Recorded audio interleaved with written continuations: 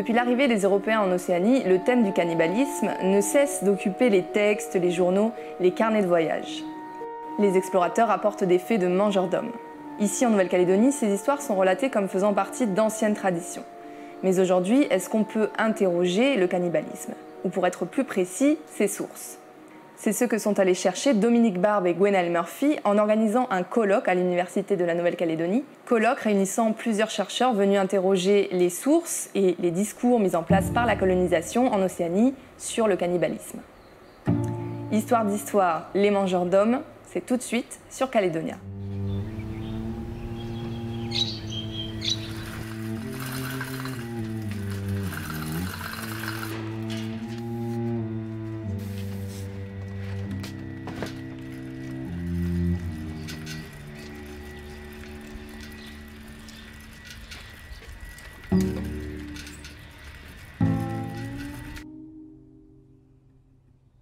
Dans cette boîte se trouvent en fait les, euh, les jugements de la justice de paix de Nouméa, euh, les plus anciennes archives de, justice que l'on a euh, en Nouvelle-Calédonie.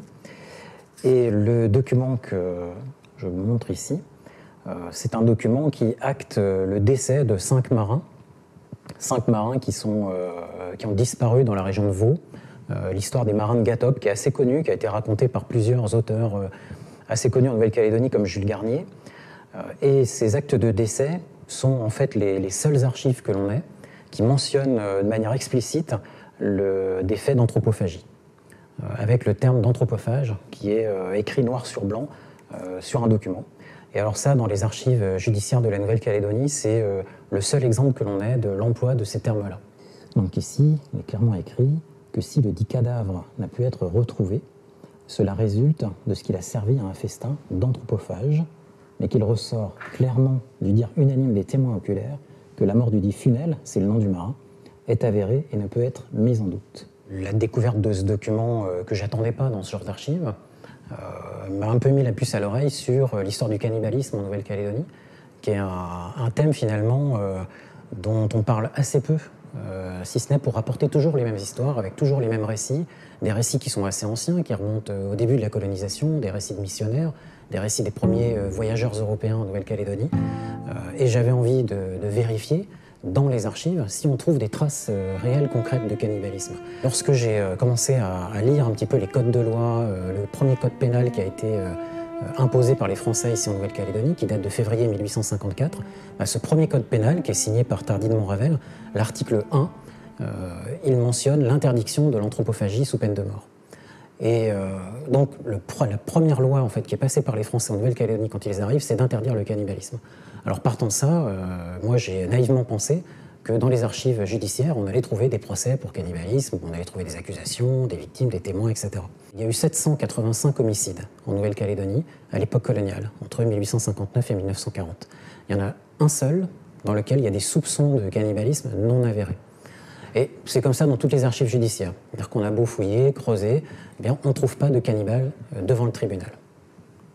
Alors ici, on a un deuxième acte euh, d'état civil qui enregistre le décès d'un marin qui s'appelle Bernard Gélas. On a son, nom euh, à cet endroit-là. Il fait partie des quatre ou cinq marins qui auraient été massacrés lors d'une altercation avec une tribu kanak de la région de Vaud, à Gatop plus précisément. Euh, le 13 juillet 1865. Ils étaient sur un, bateau qui s'appelait la Reine des Îles. Et c'est une affaire qui est assez connue parce qu'elle a été rapportée en détail par Jules Garnier dans son livre à succès qui s'appelait Voyage à la Nouvelle-Calédonie. Exploration de la côte ouest de la Nouvelle-Calédonie. Massacre des équipages de deux bateaux pilotes par les cannibales de la baie Chasseloup. Le commandant de la Fine nous a appris le même soir que les naturels de la côte ouest, de la tribu de Pouangué, avait attaqué un bateau caboteur, la Reine des Îles, tué et dévoré une femme, deux indigènes et deux Français.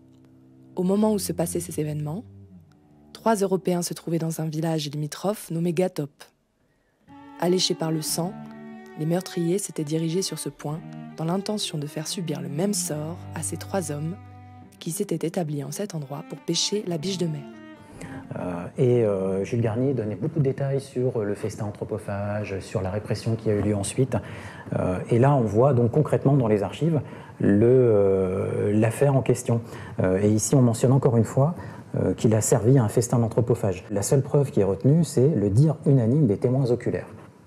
Donc il y a des personnes qui ont rapporté ce festin, euh, ce soi-disant festin anthropophage, mais finalement ils ne sont pas mentionnés, on ne sait pas qui c'est, il n'y a pas la déposition précise, il n'y a pas de détails euh, plus que ça.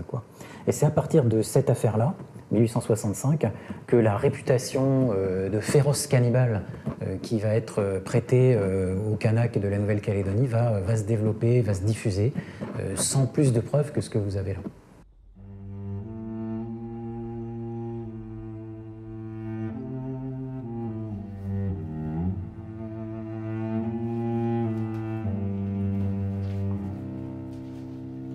M'appelle Dominique Barbe, je suis enseignant-chercheur à l'Université de Nouvelle-Calédonie.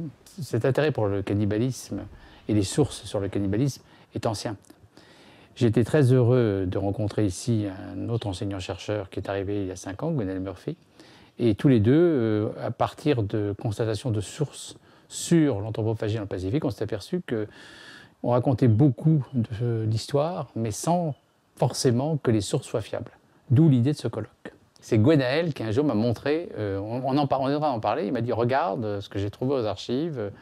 Et c'était sur l'affaire de Gatop, où effectivement, euh, à partir de, la disparition d'un marin et de ses passagers, automatiquement, il y avait eu des témoins, mais on ne savait pas lesquels, qui avaient vu ces gens se faire manger. Mais et à partir de là, ben, la presse en est emparée, et du coup, tout le monde croit dur comme fer, aujourd'hui encore, qu'à Gatop, on a mangé des, passagers d'un bateau. Ça a été admis par les populations autochtones euh, parce que les Blancs venaient d'ailleurs et racontaient qu'ils semblaient avoir déjà rencontré des cannibales, déjà. La deuxième chose, c'est que c'est une arme assez facile. Euh, ils ont peur des cannibales, ils ont peur de se faire manger.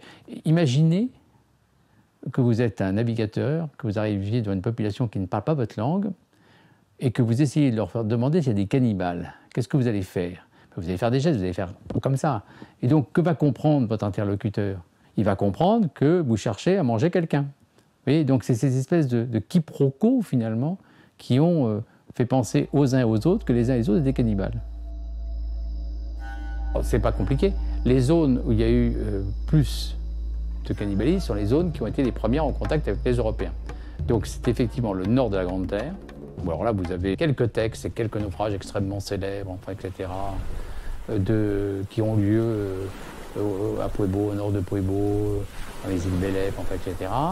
Et puis les îles Loyauté, là effectivement, mais il y a aussi des couliniers, enfin tout le monde y passe si vous voulez. Mais effectivement, plus vous êtes dans, euh, à l'intérieur, plus finalement la réputation de cannibalisme est tardive.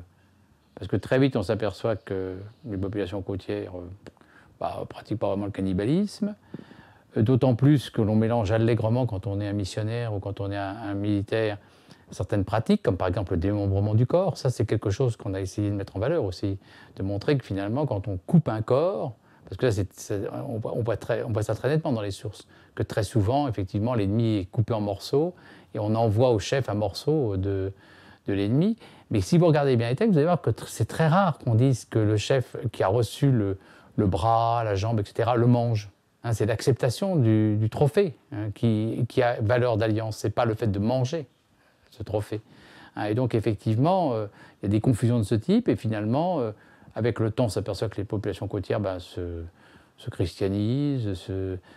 Et finalement, euh, le méchant cannibale, eh ben, il est dans la chaîne. Et puis comme ça, depuis, depuis, depuis en plus loin. Quoi.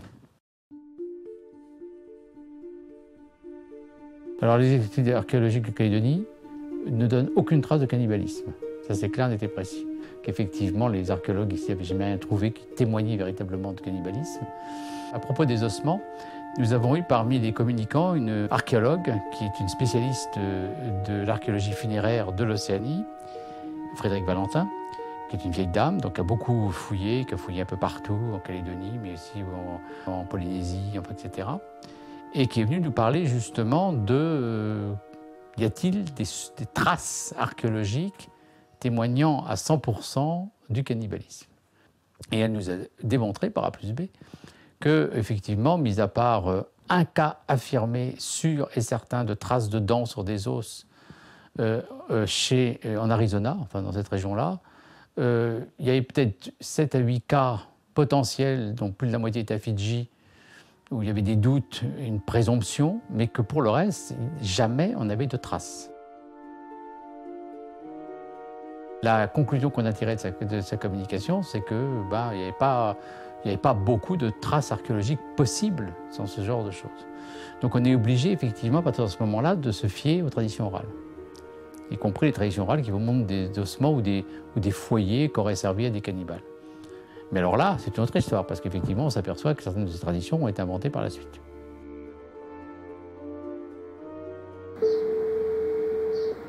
Allô, allô Bonjour Véronique. Bonjour. Vous avez participé au colloque euh, à l'Université de la Nouvelle-Calédonie qui questionnait les sources liées à l'anthropophagie. Est-ce que vous pouvez nous présenter un peu euh, le thème que vous avez abordé euh, sur place? J'ai été interpellée par les similitudes qui euh, existe entre l'affaire Ramin, qui a défrayé la chronique euh, en 2011, et euh, une affaire étrange intervenue dans l'atoll de Tematangui au Tuamotu à l'horizon de 1856. Dans un cas comme dans l'autre, on a affaire à un fait divers qui, qui suscite l'intérêt du public mais qui justement est fondée sur des faits extrêmement fragiles. Et en tant qu'historienne, il me semblait particulièrement intéressant de, m'intéresser à ce qui, ce qui fonde, ce qui relève davantage de la, rumeur que, du, que, que véritablement de la réalité. On pense que euh, c'est écrasé sur les rochers une goélette qui transportait une dizaine de, passagers. Or, le navire qui repère ces, débris euh, est dans l'impossibilité de, débarquer car euh, les, habitants de l'île se montrent extrêmement hostiles et, et les empêchent de débarquer. Un rapport est fait aux autorités françaises à, Tahiti qui diligente un navire de guerre pour, mener une enquête sur place. Or, sur place, les habitants ont disparu alors qu'on trouve euh, visiblement des traces toutes récentes de leur présence. Faute de les trouver, euh, les, militaires bombardent l'île.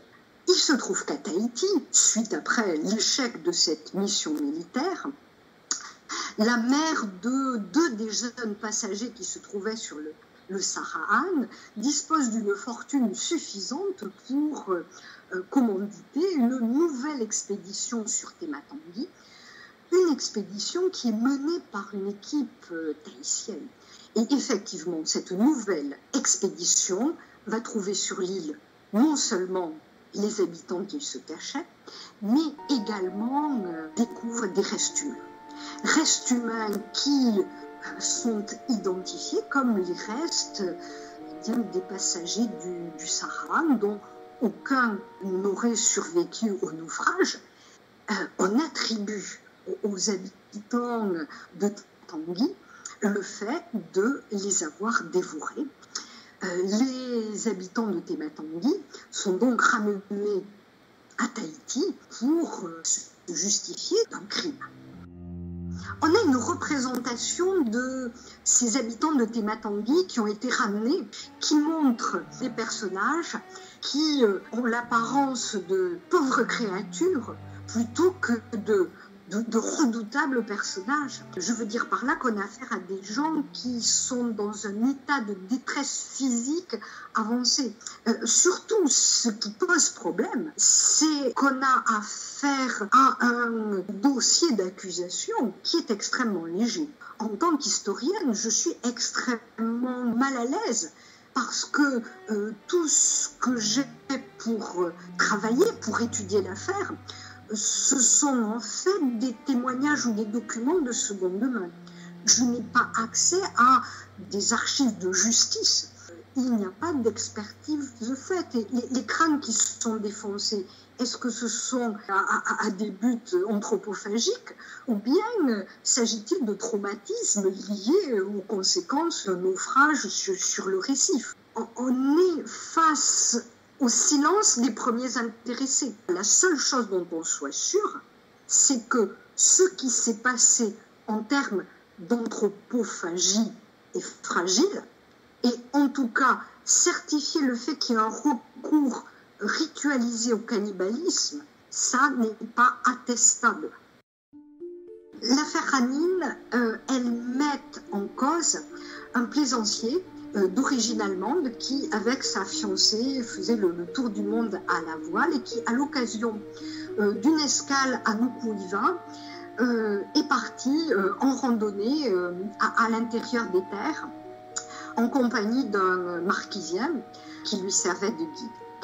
Or, on a retrouvé que le cadavre calciné de euh, Stéphane Ramin. Il se trouve que le guide, après être revenu euh, au navire de Stéphane Ramin, après avoir euh, agressé sa fiancée qui était restée à bord, est parti dans, la montagne et ne s'est rendu qu'au bout de plusieurs semaines. Les journaux, et tout particulièrement les journaux allemands, ont mis en cause la tradition cannibale marquise pour euh, faire circuler l'information selon laquelle ce touriste allemand avait été euh, rôti euh, pour faire l'objet d'une consommation anthropophagique. Aujourd'hui, le guide, il n'a toujours pas pu témoigner, enfin, on n'a toujours pas de témoignage de, de, ce guide. Si, le procès, on a bien établi, on a bien établi qu'il était le meurtrier de Stéphane Ramin, mais surtout, ce qui a été très clairement établi, c'est que il n'était absolument pas question d'anthropophagie. Et euh, ce qui m'apparaissait euh, similaire avec les événements de, de c'est justement la fragilité des faits euh, sur lesquels ou à partir desquels on tirait des conclusions abusives. Dans un cas comme dans l'autre, les premiers intéressés n'étaient pas là ou restaient silencieux quant à ce qui avait pu se passer. Je m'appelle Anne-Victor Esno et je suis un doctorat. J'étudie la littérature tasmanienne, notamment le Tasman Gothic, qui est une transplantation de la littérature gothique anglaise en Tasmanie. Utiliser le gothique dans la littérature tasmanienne, c'est une manière de faire ressurgir les tâches, les zones d'ombre de l'histoire, notamment de l'histoire coloniale, qui ont été enfouies et refoulées. Pourquoi est-ce qu'on a voulu cacher le passé colonial? C'est notamment à cause de euh, du bagne, de l'histoire du bagne et des histoires terribles comme l'histoire d'Alexander Pierce qui est devenu euh, cannibale en se perdant dans le bush. Alexander Pierce euh, a véritablement existé, son histoire est complètement véridique. Euh, donc Alexander Pierce a été condamné pour le vol de six paires de chaussures à être transporté à Van Diemen's Land, donc le nom de la Tasmanie à l'époque. Les bagnards n'étaient pas choisis pour la gravité de leur crime. Donc Alexander Pierce n'est vraiment pas prédisposé à la violence. Une fois arrivé euh, en Tasmanie, tous ces crimes l'ont envoyé au bagne de Macaria Harbour, donc à l'autre bout de la Tasmanie. Et ce bagne, c'était vraiment le pire bagne. C'était la fin, euh, ça s'appelait Hell's Gate. Donc c'était les portes de l'enfer. Il n'y avait pas pire comme bagne. C'était pour les bagnards qui avaient à nouveau commis des crimes dans la colonie. Donc les conditions de vie étaient très dures. Alexander Pierce décide de s'évader avec sept compagnons, sept autres bagnards. Donc vous voyez euh, sur cette côte-là, euh, tout est extrêmement bien cartographié. On a de nombreux noms, les chaînes de montagnes, les rivières. Tout est nommé, cartographié, etc. Alors que sur l'autre côte ici, la côte ouest, euh, on a Macaria Harbor ici, d'où Alexander Pierce part. Et le reste, on voit des larges plages blanches euh, d'un bush vraiment euh, épais, luxuriant, inextricable. Euh, donc, ce n'était pas du tout cartographié, ni pour les bagnards, ni même pour l'administration coloniale. Ils n'avaient aucune idée où retrouver les bagnards, et les bagnards n'avaient aucune idée d'où vers où se diriger pour s'enfuir. Ils s'évadent, Mais en s'évadant, ils se rendent compte qu'ils ont, ils ont des provisions pour quatre jours et aucune carte. Au bout du onzième jour, poussés par la faim, ils se rendent à l'évidence, il va falloir manger quelque chose, et ce quelque chose, c'est un de leurs compagnons. Donc ils décident donc de tirer à la courte paille le compagnon qui, va être mangé. Ils continuent à, manger les compagnons un à un, jusqu'à ce qu'il n'en reste plus que deux, Alexander Pierce lui-même et Green Hill. Il y a une seule hache. Le premier qui s'endort sait que l'autre va prendre la hache, le tuer, le manger. Trois jours après, Green Hill, épuisé euh, par son périple, finit par s'endormir. Alexander Pierce prend la hache, tue Green Hill et le mange. Quelques semaines après, il se rend dans l'évidence, il peut vraiment plus s'en sortir, donc il décide de se rendre. Il est euh, emmené à Hobart, euh, sur l'autre côte de la Tasmanie, où il, il, se confesse au révérend Connolly, qui était un catholique et irlandais également, exactement comme Alexander Pierce. Et euh, il demande à ce révérend, le révérend Connolly, il lui demande d'adresser, de donner un discours lors de son exécution avec ce qu'il lui a confié lors de sa confession. Et c'est comme ça qu'on connaît tous ces, tous ces détails sur, sur l'évasion et le cannibalisme, c'est parce que ça vient d'Alexander Pierce lui-même. Le 19 juillet 1824, donc Alexander Pierce, pour meurtre, il n'y avait pas écrit cannibalisme, juste pour meurtre, euh, est condamné à mort et son corps doit être confié euh, à l'anatomie. Le corps d'Alexander Pierce a vraiment euh, suscité un intérêt, une fascination assez intense après sa mort. Sa tête a été dessinée juste après son exécution pour essayer de comprendre si dans, dans, la forme de sa tête, ses pommettes, son nez, euh, ses joues, il y aurait quelque chose qui pourrait expliquer le fait qu'il soit prédisposé au cannibalisme. Et ça, c'est son crâne. Euh, les, donc, euh, la Tasmanie, pour l'instant, n'a qu'une seule photo de son crâne. donc, vous voyez, sur son crâne, il y a marqué English ici. Anglais pour marquer, enfin, c'est peut-être un crâne de sauvage cannibale, mais c'est un anglais. Son cas vraiment excite l'imagination et euh, la fascination, mais une fascination un peu morbide et malsaine. Comment est-ce que euh, un blanc peut devenir cannibale alors que le cannibalisme, c'est vraiment le stéréotype qu'on attribue euh, aux sauvages, au peuple sauvage, au peuple à coloniser, etc. Et c'est vraiment le cannibalisme, c'est le stéréotype qu'on donne au peuple à coloniser comme ça, euh, ça justifie la colonisation. Vu que ces peuples euh, sont cannibales, sont des sauvages, sont des barbares, dans ce cas, la mission euh, civilisatrice de la colonisation est justifiée. C'est un sujet qui s'est avéré extrêmement sensible. qui s'est avéré extrêmement sensible d'abord dans la communauté scientifique elle-même, puisque nous avons eu des fins de non-recevoir de certains spécialistes de la question disant que grosso modo, euh, suite aux grandes polémiques avait eu sur le sujet à la fin du XXe siècle, hein, chez les anthropologues en particulier, on avait tout dit sur le sujet. En fait, euh, on s'est aperçu qu'on n'avait pas tout dit, surtout on n'avait pas tout dit sur les sources. Et c'est pour ça que j'insiste beaucoup sur ce mot source, parce qu'on a travaillé principalement là-dessus. On a rencontré aussi des, réserves très nettes de la part des populations océaniennes, puisqu'à l'issue de ce colloque, on avait prévu de faire une table ronde regroupant des Océaniens. Cette table ronde a été lancée, des invitations ont été faites, il y avait un certain nombre de gens qui étaient prêts à participer.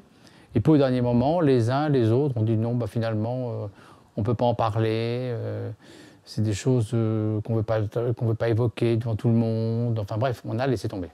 C'est un questionnement permanent de savoir exactement, non pas ce qu'il en est, mais ce qu'on en dit en fait. Voilà. Et comment on arrive euh, en Océanie quand on est un, blanc au 19e siècle avec des idées dans la tête euh, et qu'on va absolument appliquer. Euh, comment finalement les, Océaniens trouvent que les Occidentaux sont un peu polarisés sur ce problème-là, s'aperçoivent que les Occidentaux ont très peur de ça et donc finalement vont utiliser le cannibalisme comme arme défensive en disant oui, bah là-bas derrière la colline il y a des cannibales, n'y allez pas. c'est pas pas fait pour remuer, mais enfin c'est fait pour essayer de comprendre ce qui s'est passé avec nos yeux contemporains. Alors là, c'est un sujet sensible en Océanie, mais je pense que malheureusement, les Océaniens ne sont pas, euh, spécifiquement cannibales, ils ne sont pas plus cannibales que les autres. hein. Voilà, c'est ça, ça l'idée en fait, euh, que- auquel je pense le plus. C'est mon idée profonde, si j'ose dire.